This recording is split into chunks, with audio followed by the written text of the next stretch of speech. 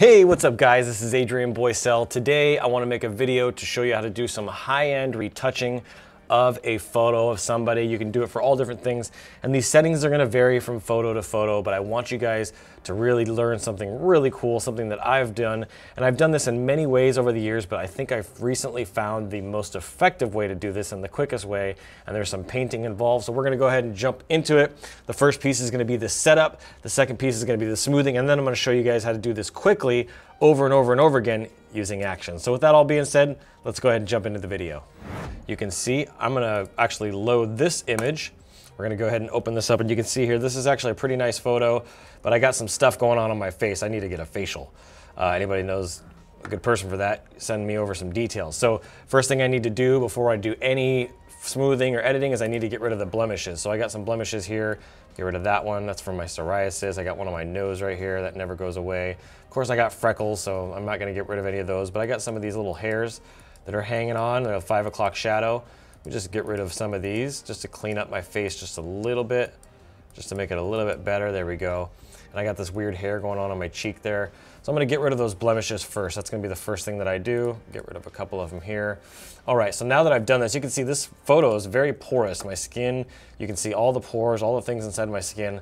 What I wanna do, I wanna smooth this photo out, smooth my face out quite a bit. So we're gonna do that today and we're gonna start by first duplicating this layer. So you're gonna hit Command or Control J, it's gonna duplicate the layer. The next thing that I want you guys to do is hit Command or Control I that's going to invert the layer. Now that we've got the layer inverted, we're gonna change our blending mode. So we're gonna go over here, we're gonna hit vivid light. Whoops, vivid light, there we go.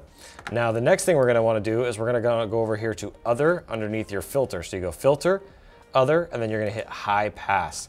This is actually gonna give us some really nice textures. You can do anywhere between two and about four. Look at that, I think I like less of the orange in there, so I'm probably gonna do right around 2.5 it looks like. I think that's pretty good there. You can't really see much of the orange. And then the next thing I need to do is hit filter again. And I'm gonna go to blur, Gaussian blur, and I'm gonna adjust this. So I can go from 0.1 up a little higher. I don't wanna show any of those skin pores, so I'm gonna go like point, there we go, 0.2. Now this can range depending on the photo. This can go all the way up to three or four, uh, but it just really depends on the photo that you're gonna use. So I'm gonna go to 0.4 just for this image. I think it gives me a nice blur. Let me go a little bit less, 0.3. Man, I'm gonna probably just keep it all the way down. I think just 0.1 is gonna be fine for this image. And it'll vary, like I said, between photo to photo. So now the next thing you're gonna do is you're gonna take this layer, you're gonna hit Alt or Option. See this little, little button here? And then you're gonna actually hit the little mask. So we're gonna create a layer mask. Boom, this just added a layer mask on top of it.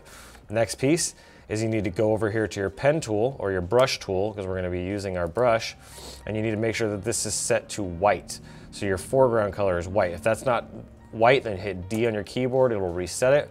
And then you need to go up here to your brushes and probably adjust your flow. You may have it at 100, you may have it at 90, you may have it at 50. I like to keep it for this tutorial specifically right around 80.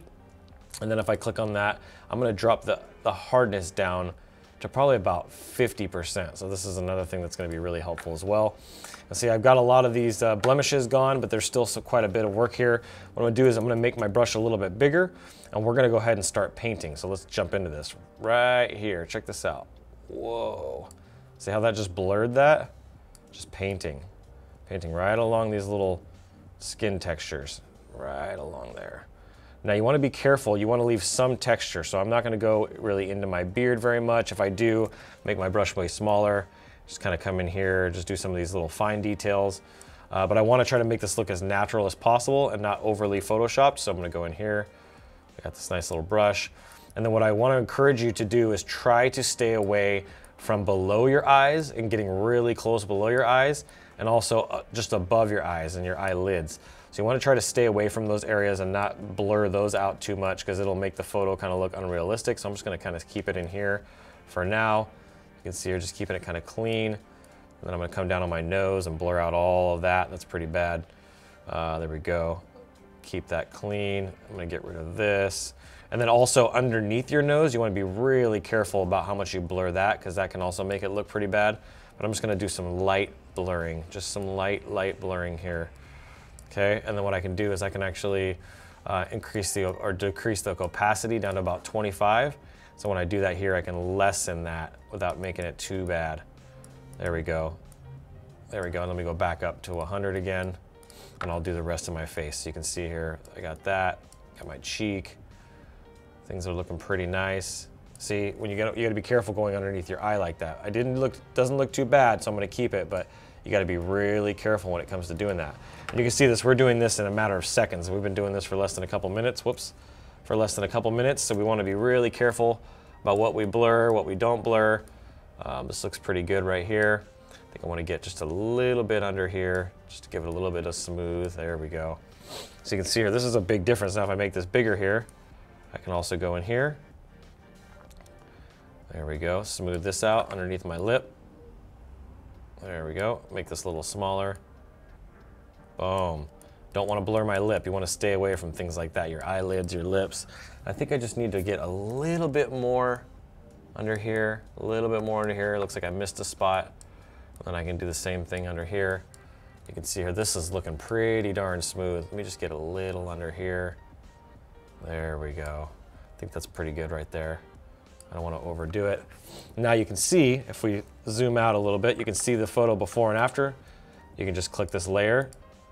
Look how much smoother that looks. A much smoother photo. I didn't blur my eyes, I didn't blur my eyebrows, I didn't blur my beard. I need a bad shave and, oh man. But overall, this looks really, really good. I think this is a good example of how to smooth your skin. So now the next piece is going to be creating an action. You're probably going, okay, well, what step do we need to create an action? So what we need to do is we need to redo all of this all over again. So I'm gonna go ahead and start from the beginning and show you how to create an action real quick. So you go to Windows, Actions. Now what we're gonna wanna do is we're gonna wanna create a new action. See this right here? This is create a new action. We'll call this action skin smoothing. There we go. You can even set a custom function key now this is set to recording and when we're done, we can hit stop. So what I'm gonna do is I'm gonna open up layers and then I'm gonna hit, let me see if I can pull this up, separate this, there we go. Actions, okay, you can see here, skin smoothing. So what we need to do, I'm gonna hit Command J, and you remember all those same settings that I had before. Command I, okay, gonna go to my blending mode, vivid light, just like we did before. Now that we've done vivid light, we're gonna come up here to filter, we're gonna go to other, we're gonna go to high pass. Remember what we did here? It was about 2.5, I think, on the high pass. Again, you can adjust this a little bit more, a little bit less. I think I like that right there. 3.8, 3.5, somewhere right in that area. Let's just say 3.5 for the sake of this action. There we go. Now that we've done that, we're gonna go filter again. We're gonna go blur, Gaussian blur, if you remember that. And I had this set really, really low. I can adjust this if we need to, but I think that's too much texture, so I'm just gonna go like 0.2 maybe. There we go. You hit there. Now that I've got all of those actions, the last thing, and I already, you know, you can't do that on the skin removal or the blemish removal, but this is all of the steps you need. So what you'll need to do now is just hit stop. And now you've got this saved as an action. So you can come in here at a later time and recreate this. So watch. If you want to do the skin smoothing, hit the play button and it just replicates it. See that? Boom. Now, you can't record the skin smoothing, you're gonna have to paint that by hand, but it's gonna save you a lot of time to have to redo that every single time because you have all these default actions now. So now all I need to do is just to come in here and create the layer mask. So I'm gonna go in here, hit Alter Option, create the layer mask, and then I can just start painting like I did before and coming in here and cleaning up my skin just like I did before. So that's my tutorial for you guys today. I hope this was super helpful. I wanna see you guys use it on some of your images. If you do and you post it, you share it on social media, definitely tag me in it, at Adrian Boysel. I look forward to seeing you guys on the next one. Thank you guys so much for watching. Until next time, I'm Adrian Boysel. Keep looking up.